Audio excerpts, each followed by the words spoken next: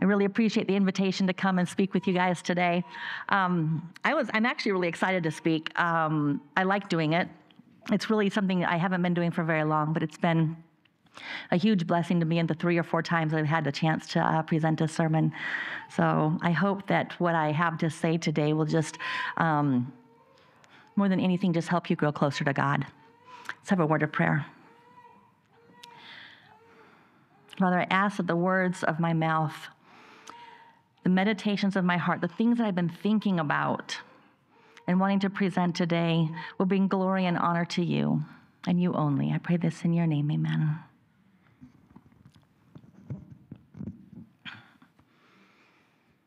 To everything, there is a season, a time for every purpose under the sun. A time to be born, a time to die, a time to plant, a time to uproot, a time to kill, a time to heal, a time to break down, a time to build, a time to weep, a time to laugh, a time to mourn, a time to dance, a time to cast away stones, a time to gather stones together, a time to embrace, a time to refrain from embracing, a time to search, time to count it as lost, a time to keep, and a time to discard a time to tear and a time to mend, a time to be silent and a time to speak, a time of love, a time of hate, a time of war, a time of peace.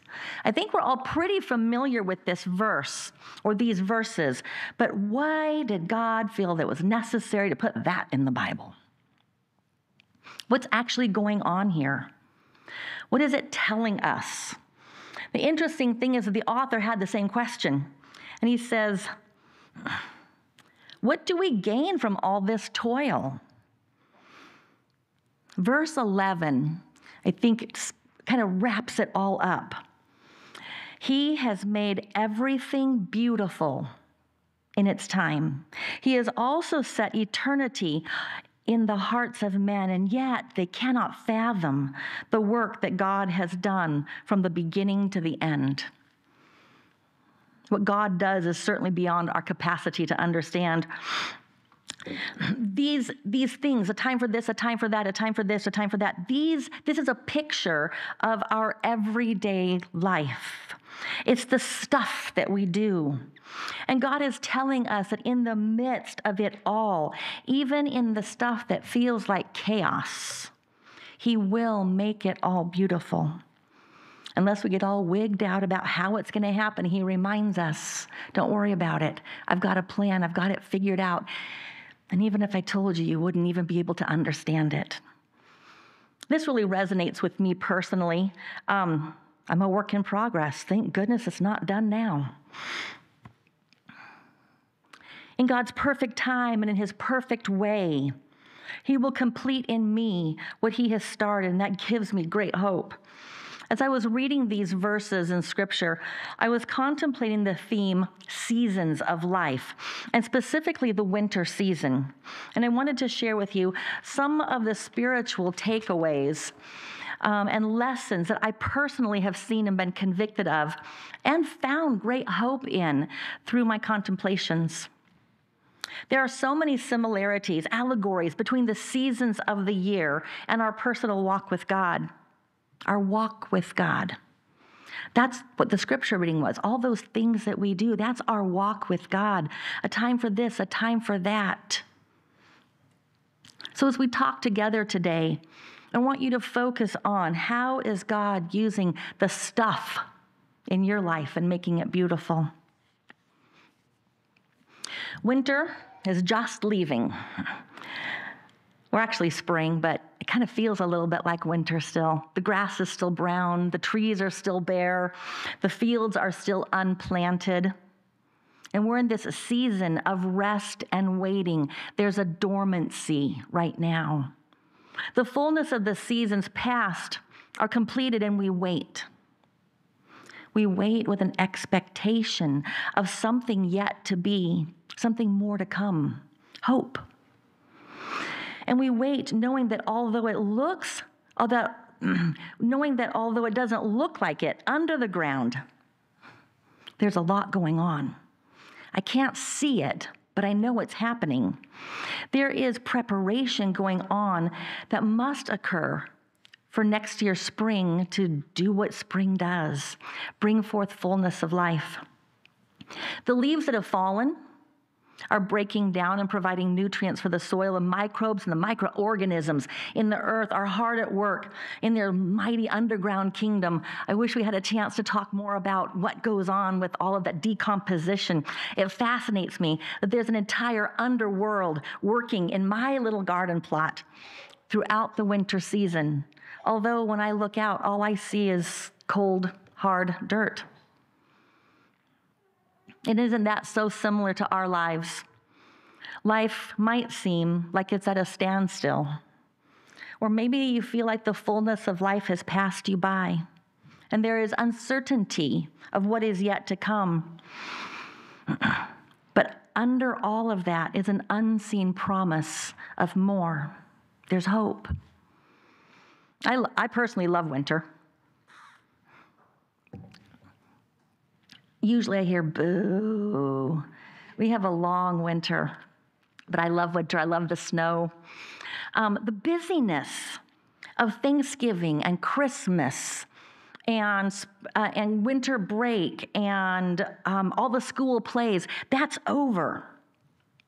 And there's this long pause until spring. I love walking in the cold and the stillness of winter. I love how the snow just dampens the sound, and there's a quietness in winter that you, there's no other time of year that feels like that. I love how the newly fallen snow just buries all of the unsightly stuff, and it turns the landscape into this picture of perfection. And one of the other reasons that I love winter is because I know it won't last forever. I have hope. I know that in the spring there will be a renewing and an awakening, and I'm confident in the consistency and the order of nature and the seasons. I'm confident in God that He will work His mysteries in the spring. And in the spring, my garden will again burst forth in new life and yield another bountiful harvest of tomatoes. And I cannot wait to have another tomato sandwich. It's this time of year that you just long for that lush taste of a fresh tomato. There's nothing in the grocery store like that right now. But winter isn't always a time that's filled with hope. It's not always that snuggly, warm feeling with a cup of hot cocoa, sitting by a fire with your friends and your family. The seasons have gone badly. If the spring plantings were washed away, if the harvest was slim, the rains came late, ruined the crops, then winter is no longer a season of rest and hope. It's a season of torment and enduring, this endless waiting. It's a cold hunger and a depleting of resources, a scrambling to piece together some sort of new plan. And our lives are a lot like that too. Our best laid plans, our hopes, our dreams, despite our best efforts, might not be going the way you thought they were going to go. Things might not be working out quite right.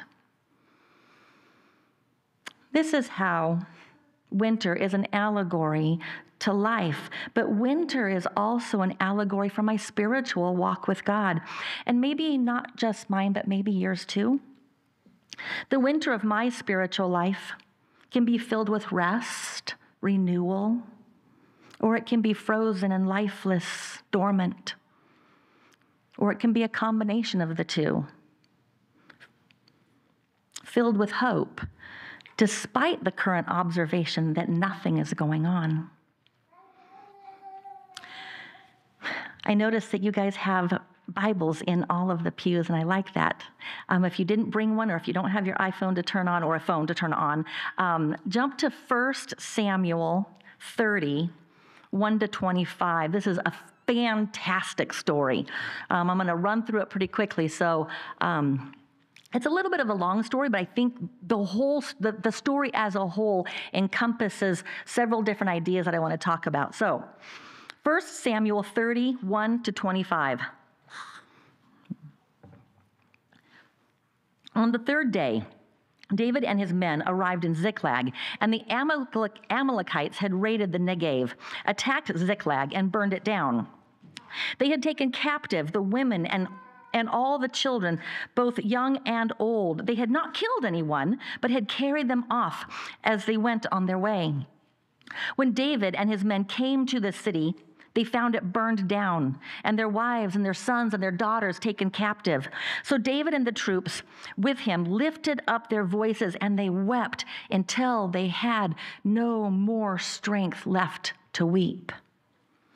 David's two wives, Ahinoam and Abigail, had been taken captive, and David was greatly distressed because the people spoke of stoning him, because the soul of every man grieved for his sons and his daughters. But David found strength in the Lord his God. You got to remember that phrase. Then David said to Abiathar the priest, the son of Ahimelech, Bring me the ephod. So Abiathar brought it to him. And David inquired of the Lord, Should I pursue these raiders? Will I overtake them? Pursue them, the Lord replied, for you will surely overtake them and rescue the captives. So David and his 600 men went to the brook Besor, where some stayed behind because 200 men were too exhausted to cross the brook. But David and 400 men continued on in pursuit. Now, his men found an Egyptian in the field and brought him to David. They gave the man water to drink and food to eat, a piece of fig cake and two clusters of raisins. So he ate and he was revived, for he had not had food or water for three days and nights. Then David said to him, To whom do you belong, and from where are you from? I'm an Egyptian, he replied, the slave of an Amalekite. My master abandoned me here three days ago when I fell ill. We raided the Negev, the territory of Judah, the Negev of Caleb, and we burned down Ziklag. Will you lead me to these raiders? David asked. And the man replied, Oh, swear to me by my God that you will not kill me or deliver me to the hand of my master, and I will lead you to them. So he led David down and there were the Amalekites spread out all over the land, eating and drinking and celebrating the great amount of plunder that they had taken from the land of the Philistines and the land of Judah. And David struck them down from twilight until the evening of the next day. Not a man escaped except for 400 young men who fled off riding camels. So David recovered everything the Amalekites had taken, including his two wives. Nothing was missing, young or old, son or daughter, or any of the plunder the Amalekites had taken. David brought everything back, and he recovered all the flocks and the herds which his men drove ahead of the other livestock, calling out, This is David's plunder. When David came to the 200 men who had been too exhausted to follow him from the brook of Besor, they came out to meet him and the troops with him.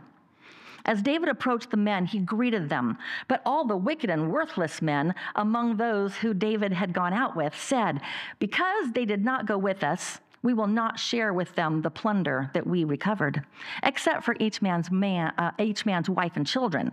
They may take them and go. But David said, My brothers, you must not do this with what the Lord has given us. He has protected us and delivered us into the hand of the raiders who came against us. Who will listen to your proposal? The share of the one who went to battle will match the share of the one who stayed behind with the supplies. They will share alike. And so it was, so it has been from that day forward. David established the statutes of an ordinance for Israel to this very day. What a story. A day in the life. David and his army have just returned home from battle, exhausted, only to find their homes destroyed and their families captured. And rather than the expected rest, they have to head out on a rescue mission. There are so many times in our lives we think we're going to have a period of rest. Everything seems to be coming together, only to find that it's not so. Those transitions can be so hard on us. The soldiers, they're physically and emotionally spent. And they head back out on the warpath and they come to this place called Besor, and it's got a brook there, a place to drink and be refreshed. They stop to get a drink and then they head out again. But 200 of the men are just too tired to go on. They stay behind as the others leave to rescue the captured families. How worn out must a person be to not go rescue his wife and children? My friends, that's not sleepy. That's not tired. That's exhaustion. It's a physical weariness that many of us have not known. Charlie might know it. Tanya might know it. At least it's not a weariness, an exhaustion that we know as is presented in this story, but how many of us are worn out spiritually? So worn out that we'd rather not come to church where we can be renewed, refreshed, and encouraged. And yet we know that it's by our example that children learn. They see us come to church where we can fall at the feet of God, where true restoration takes place. And they learn that God can be trusted to meet us where we are, to heal us, to restore us. But we just don't have it in us to lead. How many of us would rather not participate in spiritual things because the idea of doing any self examination is just too overwhelming? And yet we know because God tells us so that when we allow examination of ourselves, He will show us where we need Him. He will lead us exactly where we need to go. Search me, O God, and know my heart. Test me and know my concerns. See if there is any offensive way in me. Lead me in a way everlasting. How tired must we be that when God throws us a lifeline, we don't even take a hold of it? Tired out, burned out, worn out, tuned out, and our souls just so torched that we don't even care anymore. That's the modern day equivalent of where David's 200 men were. But the story doesn't end there. There's some beautiful stuff yet to come. When the men returned with the women and children and the spoils of battle, the men who had done all the work didn't want to share with the ones who stayed behind and rested. Isn't that so like our human nature? I did the work, I get the stuff. You didn't do the work, you don't get the stuff. But that's not how God works. David knew his forces needed to remain united. Not sharing the bounty would separate them, it would divide them, it would shame them. And the la- that's the last thing he wanted for men who needed to continue to fight together. And his words were, Don't do that after all the Lord has given us. The Lord fought the battle for them, He won it for them. It wasn't their strength or their might.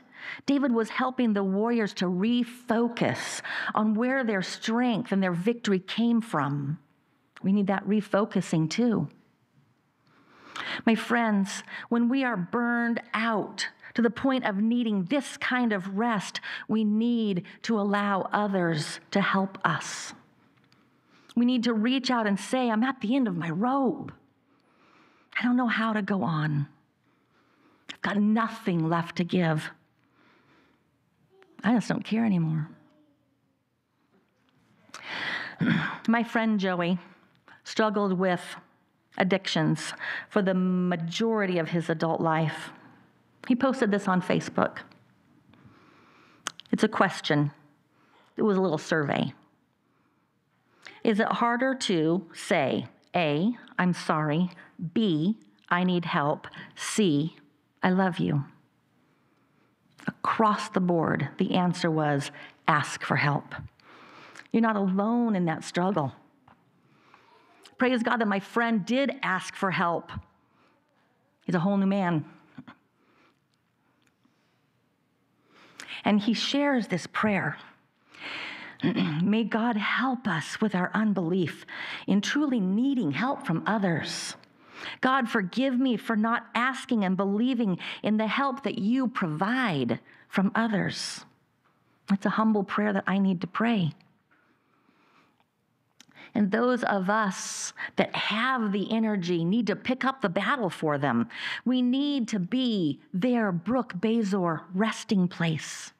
We don't look at our watches and count how long they've been down. We don't count the days or the years or the number of times they've been out of the fight, avoiding relationships, dodging the work that needs to be done, never saying yes when they're asked to help out. David's men all knew that some of the troops had stayed behind. This wasn't some sort of a secret. And I think it empowered those to fight all the harder, knowing that they were fighting not just for themselves, but for the ones who couldn't fight. Many of us here today need that kind of rest. The world has beaten us down, and we're finding ourselves too broken to move forward, too fearful to step up too hurt to invest, too traumatized by our failures to get up just too tired to fight, and too ashamed to complain, too proud to ask for help, too unbelieving in God's rescue plan. And we sit at our Brook Besor in our own private spiritual winter. This is God's invitation to you. Come to me, all you who are weary and burdened and I will give you rest. What an invitation. What a God of mercy. Here's what I want you to know it's okay to rest. Come to me, all you who are weary and burdened. I will give you rest. Jesus is your David. He will fight for you. I'm so glad that God understands my need for rest. I urge you to fight for one another. Support each other, encourage one another, pray for one another, for we must remain united for the next battle. How could we do elsewise after all God has done for us? God never leaves us without hope. And when we have nothing left to give, God still does it all for us. This is so powerful. You can rest in the love of God for you. He's so passionate about you that he would go to the lengths he did, dying on the cross to fight for you.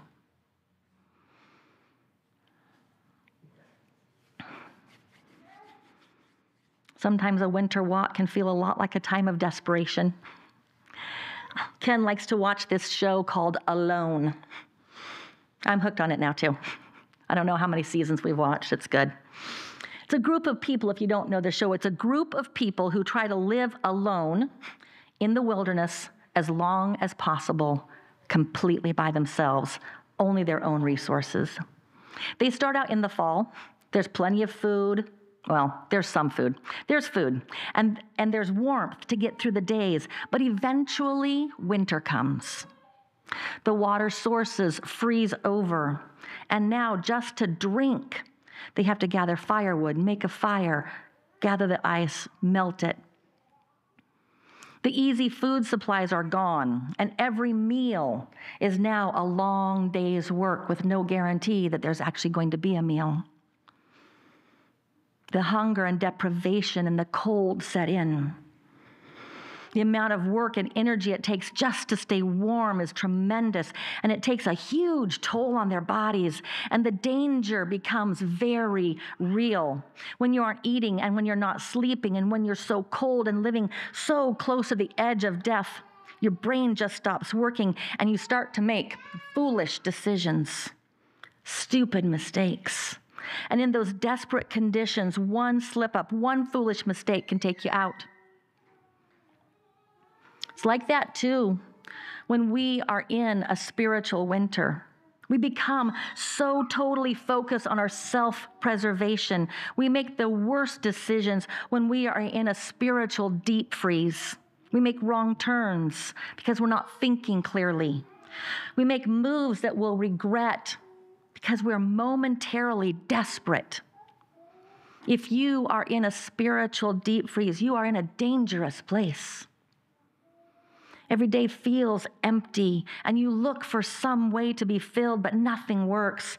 And you end up frustrated and angry, disappointed, ready to tap out, and most of the time just blaming God. I know I've been there. King David, said to be a man after God's own heart, spent many seasons in a spiritual deep freeze. But there were also times when he was not in a spiritual deep freeze. And I want to highlight some of the things that he was characterized by during his high points. Here's how he coped 1 Samuel 23 2, David inquired of the Lord. 1 Samuel 23 4, David inquired of the Lord. 1 Samuel 30, verse 8, David inquired of the Lord. 2 Samuel 2 1, David inquired of the Lord. 2 Samuel 5 19, David inquired of the Lord. 2 Samuel 5 23, David inquired of the Lord. Do you see the trend? Do you see the pattern? When David's life was on track, this is what he was characterized by. And at the end of each of those is this part that I love. And the Lord answered him. Over and over and over, this happened, so much so that there's yet one more phrase that you see a lot. And David found strength in the Lord his God. David made his first priority to ask God what his will was. And when he did this consistently, he was not in the winter of his life. His relationship with God was not stagnant. There was a vibrancy to their relationship, such that David found strength in the Lord his God. When I look at the winters of my life, when I look at the winters of my relationship with God, when there were vast periods of nothingness, I can honestly say that I was not inquiring of the Lord. I wasn't hearing from him because I wasn't asking for him. And if I did happen to ask, I didn't really want to hear the answer. What I was doing was listening to myself, taking my own advice. What I was seeking was affirmation and validation for what I wanted. I didn't want to make any changes. I didn't want to change. I wanted everyone else to change. I wanted everything else to change. And worse, I listened to the advice of others that were as lost and miserable as me. We gravitate toward those who are miserable when we're miserable. But desperate, self absorbed friends don't give very good advice. And honestly, we don't need commiseration. We need wise counsel, course correction. Friends, find yourselves wise counsel. God never asked you to do this alone. We're never meant to go it alone. Find a Bible study group, find a mentor, find a prayer partner. Proverbs 15 22 reminds us that without consultation and wise advice, plans are frustrated but with many counselors, they are established and succeed. When you are in that spiritual deep freeze, stop listening to yourself. Inquire of the Lord. Start talking to God. Talk to God. Talk to God. Talk to God who understands and invites you to put your trust and your hope in Him.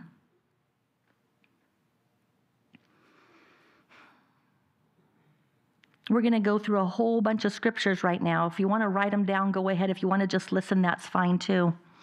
2 Corinthians 4:16 Therefore we do not lose heart. Though the outer self is wasting away, yet our inner self is being renewed day by day. Isn't that so much what happens in winter? Outside, it ain't looking so good. But inside, stuff is happening. Isaiah 40, 31. But those who hope in the Lord will renew their strength. They will soar on wings like eagles. They will run and not grow weary. They will walk and not be faint. The hope that is placed in God is like no other hope. Psalm 57, 1. Be merciful to me, God. Be merciful to me, for my soul trusts in you. In the shadow of your wing will I make my refuge until these calamities are over. Life isn't always easy. David speaks with such vulnerability here. Be merciful to me, God, be merciful to me. Because he found himself in winter over and over and over again. And when we find ourselves once again in wintertime, our life, or our life just isn't in a place that we need to be. God is so merciful to us, and we can hide next to him while we wait for the winter to pass. Matthew 6:33 but seek first the kingdom of God and his righteousness and all these things will be added to you. Do you hear it? And David inquired of the Lord. Trust in the Lord with all your heart and lean not on your own understanding. In all your ways, acknowledge him, and he will make your paths straight. Do not be wise in your own eyes. Fear the Lord and turn away from evil. This verse is just loaded with course correcting advice straight from the heart of God. 2 Corinthians 4 8, we are hard pressed on all sides, but not crushed, perplexed but not in despair. God will never leave us in despair. I will never leave you or forsake you, he says. He already has a plan. I know the plans I have for you plans to give you hope, a future. And he's already made a way, and there is hope for you. For God so loved the world that he gave his only begotten Son, that whoever believes in him may not, we will not perish, but have everlasting life. There is an end to winter.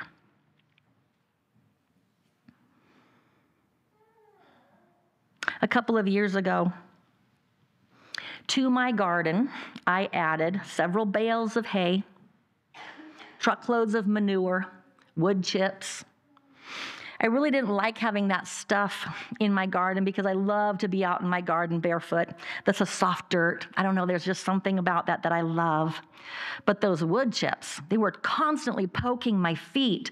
And I was not happy with the advice to have put those in. I wasn't going to put them in, but some person was like, oh no, you got these great wood chips, put them in your garden. The seasons have gone by now and the chips and the hay have lain under a blanket of snow, apparently dormant. But now, when I go out and I dig up the shovelfuls of dirt, I no longer see the hay, I no longer see the wood chips, and I don't smell that rank waft of manure. Winter has done its magic, and in its quietness, has changed my garden dirt. My tomato plants can't use chunks of wood but they can certainly use the nutrients that's in them as they change and decompose. And they have to change for my seeds to be and my plants to be able to use them. Without change, they can't be used. Without change, there can't be growth. And so it is with my life again. I don't know about you, but I don't like change. Anybody love change? I don't like change. Unless, of course, it's my idea to change and then it's revolutionary. But if change is forced on me, oh man, I'm gonna dig my heels in. You're gonna have to pull me. There's gonna be some passive aggressive stuff going on because I don't like to be told what to do. I whine about it. The whining goes on and on. Oh, why am I so stubborn and resistant? And I love that God never forces change on us, He waits for us to ask for it. And David begged God to change him and create something new in him. Create in me a clean heart, O God. Renew a right spirit within me, ah, one that's not so resentful and irritable and cold and hard. But what's so important about being changeable and moldable? This verse is one of the hardest verses to read and to take to heart. It's found in Ephesians 4:18. They are darkened in their understanding and alienated from the life of God because of their ignorance that is in them due to the hardness of their hearts. So, what's actually happening when I'm having a spiritual winter? I'm not seeking God's input. And if I am, I'm not actually willing to listen to it and be changed by it. That's the reality of my situation. It's because of the hardness of my heart. That's a hard truth to accept. It's only when I'm truly changeable toward God and ask for His presence in my life that that change starts to occur. I see it not as God doing something for me, but God doing something in me. He starts the transformation of me. And that transformation just blows my mind. I still can't believe I'm standing here today.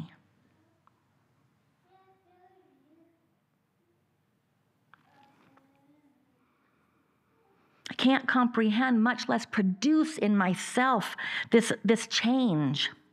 It's something that God does for me. I cannot, in my stubbornness, even desire to have a soft heart toward God. But God, in His miraculous way, puts that desire in me.